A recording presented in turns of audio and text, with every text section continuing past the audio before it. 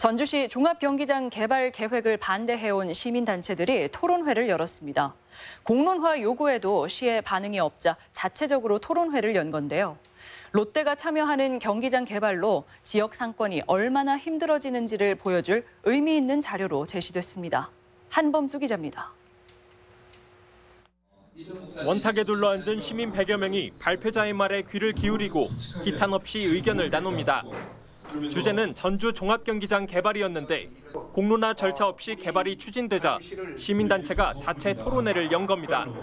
재벌들이 뭔가 술수를 쓰고 있는 것에 대해서 보기 좋게 처리하고 퇴출하는 종합경제에 지어지는 롯데가 외국인 투자법으로 적용이 되면 모든 등록세 취득세는 다 일본으로 가게 됩니다.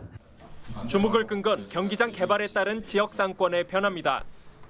5년 전 경기장 개발 관련 용역을 수행한 우석대 유대근 교수는 신설 쇼핑 시설이 전주시 약속과 달리 프리미엄이 아닌 일반 백화점이 될 것이라고 지적했습니다.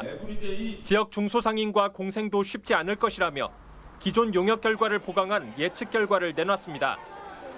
현재 전주시 내 8개 상권의 시장 점유율은 80%고 서신동 백화점은 20%지만 경기장 개발 후엔 기존 상권은 60% 수준으로 쪼그라드는 반면 백화점 영향력은 두 배나 커진다는 겁니다. 우리도 1조가 넘어요. 이 패션 상품 시장이 상당히 커요. 1조가 넘던 것이 7,800으로 줄어들어 버립니다. 시민단체들 역시 롯데의 개발 이익이 지역사회로 돌아오지 않고 외부로 유출될 것이라며 토론회 결과를 토대로 롯데와의 계약 해지를 지속적으로 요구해 나가기로 했습니다. 한편 전주시는 이달 마지막 주쯤 경기장 개발안의 세부 내용을 결정할 용역업체 입찰에 나설 계획입니다. MBC 뉴스 한범수입니다.